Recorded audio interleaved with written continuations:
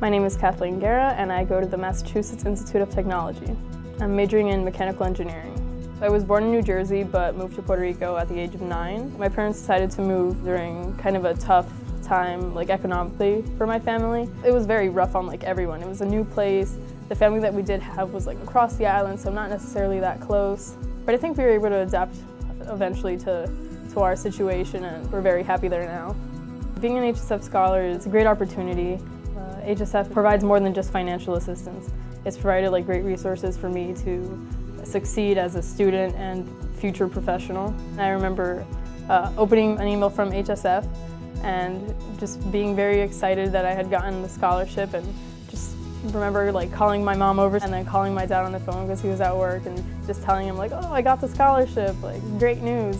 Being an HSF scholar means a lot to me.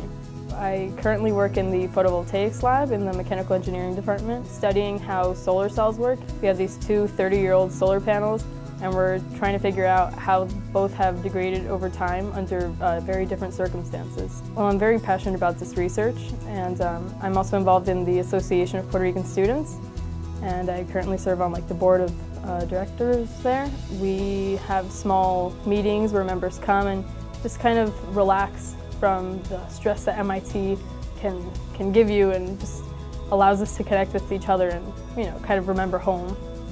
I hope on working in the energy industry after graduation. I'm particularly interested um, within the renewable sector in the energy industry.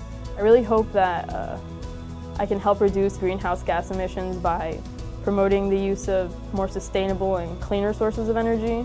Climate change has been a big deal and it like especially this year has been felt as very hot. That really motivates me to, to work in this field and try to look for a solution that isn't necessarily right in front of us. That, that's really motivating to, to pursue a career in the energy industry. I'm Kathleen Guerra and I attend MIT and I am HSF.